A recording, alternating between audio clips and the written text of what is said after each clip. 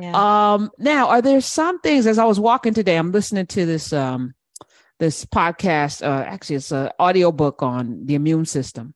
Yeah. And I, I'm still wearing my mask and staying away from people, but I also know logically, uh, you know, we should have some things that help our body fight. So we should be. So I'm like, maybe being in nature helps me because I can't deal with the people, Dr. Amen. I just can't. I can't. I don't like the breathing around me. I'm just. I'm just not yeah. ready for all of that. And focus so reckless and nasty. Ugh. It's absolutely true. I mean, I'm a bit of a germaphobe in that way, but I haven't had the liberty to really lean into that because uh, the work that I do. So I need to be able to see people's faces. I have to get up in their face and look if they look iron deficient or, you know, what's going on. And um, I have also found that the more people breathe on you, you know, sometimes the more your immunity goes up because you've been exposed to stuff. Now, that may not be the case with certain kinds of viruses, et cetera, but I will tell you, I haven't been sick in, you know, I don't know, maybe 12 years. Like I just don't get colds. I don't get sick. It's just how my body functions now. All right. So, uh, but you, you, you got the, you got uh, vaccinated and all of that. So does that, how does that work? I did. I did. Um, I felt like it was the responsible thing to do, uh, along with you know whatever dietary things lifestyle all of that that was there and being cautious i mean during the time that that the of the the end times that we were going through uh, everybody in our staff wore masks you know we didn't have people in the space sitting down at that point all of that. So we we uh, exercised an abundance of caution because we just didn't know what was going on uh, and and it's the right thing to do so, but now that um, I feel like we're still in the pandemic, I don't feel like it went away. I was thinking today that you know the, all of the variations and all of the you know d- different uh, mutations of it. Mm-hmm. Now it's like because I knew how to not get the flu or the cold. You know, like I knew how to do that. Yeah, my brain couldn't figure out this COVID thing, and I'm still working through it. Right where are we now with it in in terms of keeping our immune system as you know as big warriors? Because that's you know comes from fighting. They're like they're there to stave off yeah. anything that comes in got their weapons. Uh, yeah that's that's where it is. And and in that you were talking about the lymphatic system right? That you were reading about that. Um know, the, the lymph is the garbage cans of the body and also gives rise to lots of those really great uh, fighters, you know, the white blood cell fighters, et cetera. You know, it, there is an opportunity for us to clean those systems. But, you know, the heart, the blood has the heart, right, to pump it through. Right. We have other things. The stomach, ha- you know, is doing its work, all this other stuff, all the fluids, right? The lungs have uh, motion to it, but the lymph doesn't have a pump, like a rightful pump, except for motion so, as you were saying, you were taking your two walks today, the motion of swinging the arms, the motion of walking, the motion of uh, movement is what squeezes the lymph, you know, the muscles and, and ligaments squeezing on those areas. So, it's really important to do that. Um, that's the emptying of the trash cans of the body. And that way, our immune systems are more stimulated.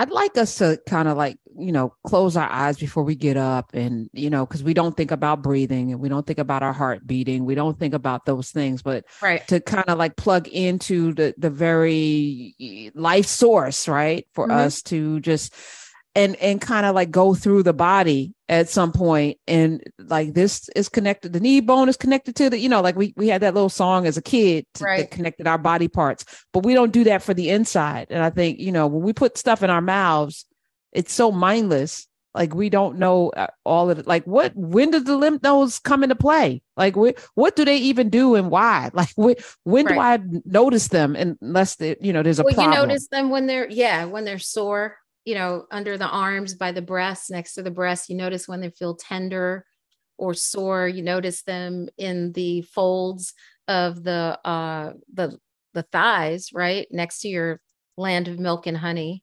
And the thighs that little fold you notice when they feel like a little nodule or they're sore and it and this tells us that it's cleaning like something is going on. Uh, we notice it when it's under the jaw and our throat feels sore and we're like whoa what's going on? I'm, i might be coming down with something.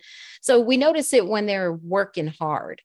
Um, and you're absolutely right like the movement that we do the cleansing that we do there are certain kinds of herbs that help us with that uh, the water alone like having about a gallon of water a day just really flushes those no- those nodes out.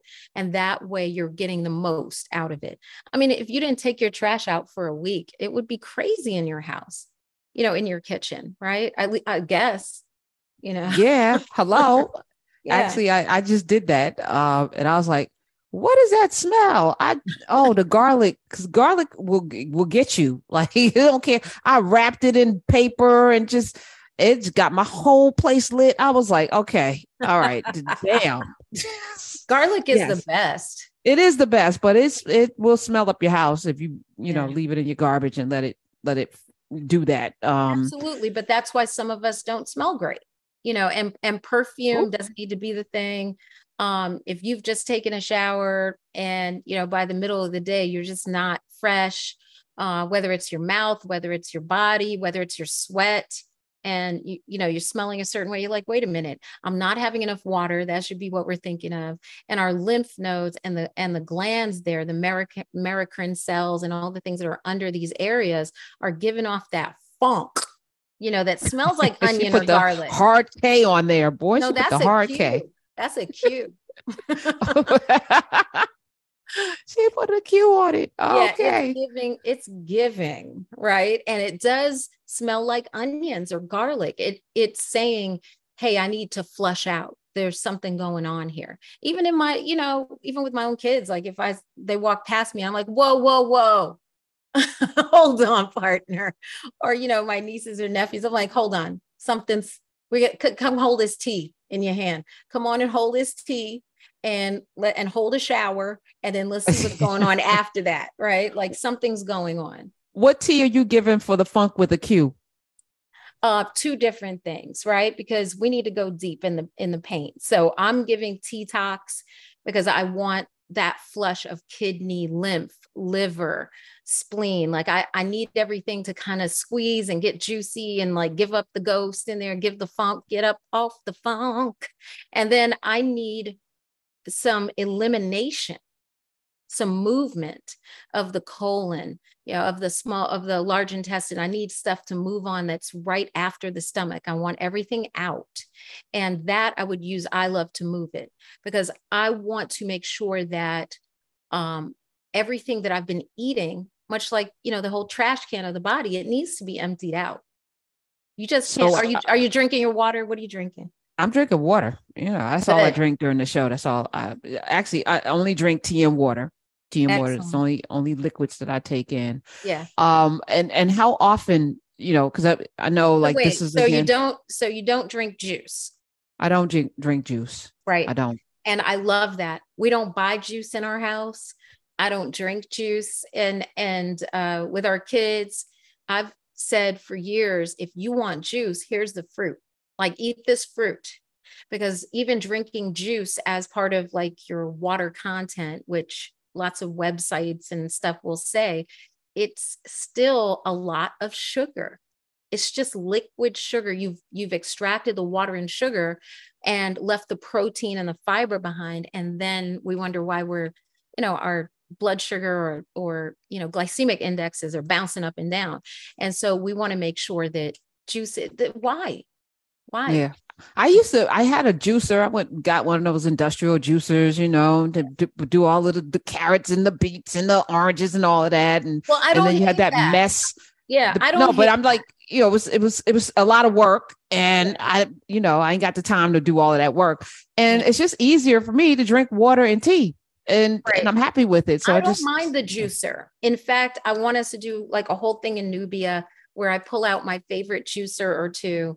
And um, my juicer is like a Ferrari. You know what I'm saying? It's not these on, on market kind of, you know, I, if you're going to do it, you need the right kind of juicer.